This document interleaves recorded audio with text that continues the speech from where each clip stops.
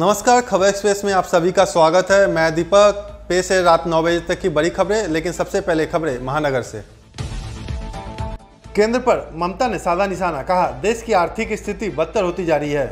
राज्य की मुख्यमंत्री ममता बनर्जी ने गुरुवार को बढ़ती महँगाई को काबू करने के लिए टास्क फोर्स के साथ बैठक की। बैठक के बाद ममता बनर्जी ने कहा कि ईंधन की कीमतों में वृद्धि लोगों के जीवन को प्रभावित कर रही है। मैं केंद्र से ईंधन की कीमतों को नियंत्रित करने और स्थायी रूप से टोल टैक्स को बंद करने का अनुरोध करती हूं। ममता ने कहा कि केंद्र सरकार से जीएसटी की समय सीमा को पाँच साल के लिए बढ़ाने का भी अनुरोध करती हूं। बता दें कि पिछले 16 दिनों में पेट्रोल और डीजल की कीमतों में करीब दस रुपये प्रति लीटर की बढ़ोतरी हुई है যদিও price hike is a central subject কিন্তু সেন্ট্রাল গভর্নমেন্ট কিছু তো করছেই না উপরন্তু পনেরো পনেরো দিনে ষোলো বার দাম বাড়িয়ে দিয়েছে পেট্রোলের দাম বাড়ানো হয়েছে, ডিজেলের দাম বাড়ানো হয়েছে ডোমেস্টিক গ্যাসের দাম বাড়ানো হয়েছে। আটশোটা লাইফ সেভিং মেডিসিন এমনকি প্যারাসিটামল থেকে শুরু করে ডায়াবেটিকের ওষুধ থেকে শুরু করে কিডনির ওষুধ থেকে শুরু করে তার সব দাম বাড়িয়ে দিয়েছে। উপরন্তু টোল ট্যাক্স বাড়িয়ে দিয়েছে।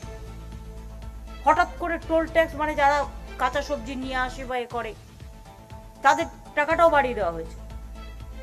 ফলে পেট্রোল ডিজেলের লাগাতার মূল্যবৃদ্ধি মানুষের জীবনে একটা নাবিশ্বাসে উঠেছে बाबू सुप्रियो के समर्थन में अभिषेक ने किया मेगा रोड शो गुरुवार की दोपहर तृणमूल के राष्ट्रीय महासचिव और सांसद अभिषेक बनर्जी ने बालीगंज विधानसभा उपचुनाव में तृणमूल उम्मीदवार बाबू सुप्रियो के समर्थन में मेगा रोड शो किया यह रोड शो बालीगंज फारिश से शुरू होकर मलिक बाजार में खत्म हुई इस दौरान अभिषेक बनर्जी ने कहा कि बाबुल ने जय श्री राम की राजनीति छोड़कर जय बांग्ला की राजनीति अपनाई है उन्होंने मतदाताओं से अपील की कि आप बाबुल को नहीं ममता बनर्जी को अपना वोट देंगे প্রতিটা জায়গায় সুব্রত মুখার্জি রয়েছে এবং তিনি যেভাবে উন্নয়নমূলক কাজ করেছেন বিগত দিনে তার নাম স্বর্ণাক্ষরে বালিগঞ্জের প্রত্যেকটা পাড়ায় লেখা থাকবে এ নিয়ে কোনো সংশয় বা দ্বিধা নেই কিন্তু তার অসম্পূর্ণ কাজ সম্পূর্ণ করার জন্য তৃণমূল কংগ্রেস প্রার্থী করেছে বাবুল সুপ্রিয়কে আপনারা জানেন, প্রার্থী ঘোষণা করার পরেই অনেকে অনেক কথা বলেছে। যে বাবুল সুপ্রিয়কে ভোট দেওয়া মানে বিজেপিকে ভোট দেওয়া। আমি তাদেরকে বলতে চাই যে বাবুল সুপ্রিয় বিজেপির আদর্শ ছেড়ে তৃণমূল আদর্শ কাঁধে নিয়ে তৃণমূল কংগ্রেস যোগদান করেছে। বাবুল সুপ্রিয় জয় শ্রীরামের রাজনীতি ছেড়ে জয় বাংলার জয় হিন্দের রাজনীতিতে বিশ্বাস করে তৃণমূল কংগ্রেসে যোগদান করেছে। প্রার্থী বাবুল সুপ্রিয় নয় প্রার্থীর নাম মমতা বন্দ্যোপাধ্যায়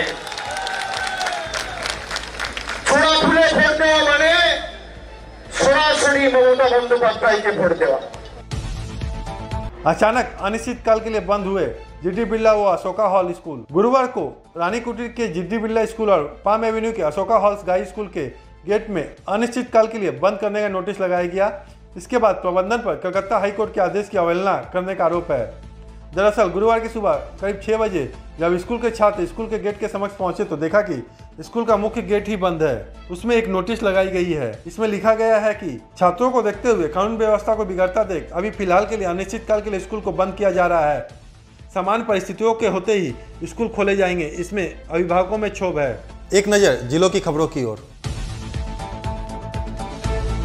मुर्शिदाबाद के फरक्का मोड़ पर डकैती के इरादे से एकत्रित हुए पाँच डकैतों को पुलिस ने गिरफ़्तार किया है। बुधवार की रात इलाके में पाँच लोगों को संदिग्ध अवस्था में घूमते देख पुलिस ने उन्हें रोका।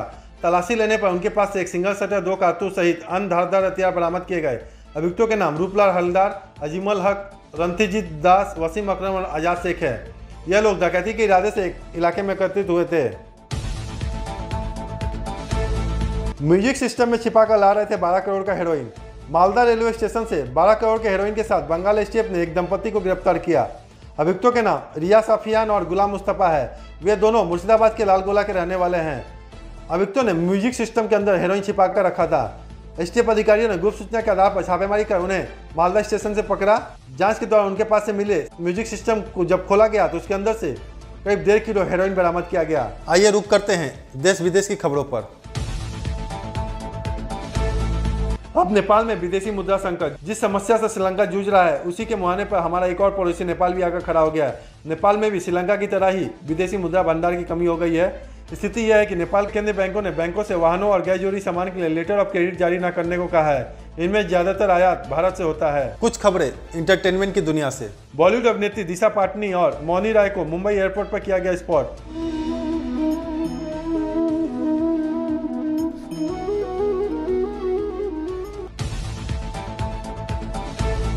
आज शाम चैती छठ का पहला अर्घ दिया गया। महानगर के विभिन्न गंगा घाटों और तालाबों पर लोगों की भीड़ देखी गई। कल सुबह उगते सूर्य को दिया जाएगा अर्घ अभी के लिए बस इतना ही। सभी ताज़ा तरीन खबरों के लिए देखते रहिए खबर एक्सप्रेस, रात ग्यारह बजे। नमस्कार।